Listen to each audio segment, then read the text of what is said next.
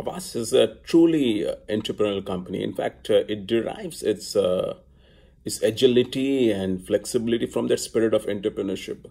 I, for one, has thoroughly enjoyed this experience and the entrepreneurship the company has shown in giving me the autonomy to operate and to build some things. You know, uh, I love the fact that uh, I got the opportunity to build this network from being employee number one, the media part of the network and more recently lead the transformation of India itself from where it was in the space of uh, 18 months to triple itself with the help of management reorganization and uh, a set of acquisitions.